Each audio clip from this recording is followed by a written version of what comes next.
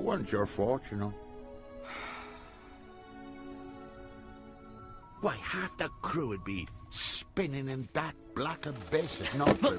Don't you get it? I screwed up! I mean, for two seconds, I thought that maybe I could do something right, but... Ah! I just... just forget it. Forget it.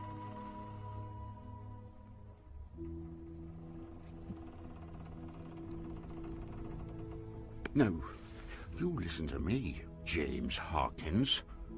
You got the makings of greatness in you. But you gotta take the helm and chart your own course. Stick to it, no matter the squalls. And when the time comes, you get the chance to really test the cut of your sails and show what you're made of.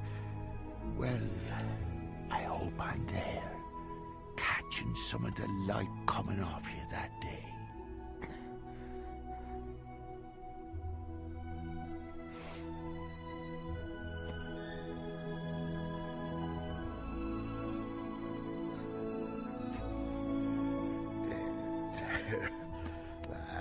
That's all right, Jimbo. It's all right. now, Jim, I, um, I best be getting about my watch. And you'd best be getting some shut-eye.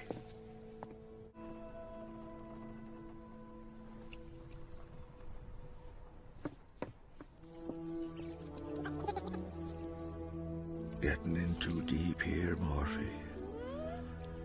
Next thing you know, they'll be saying I've gone soft.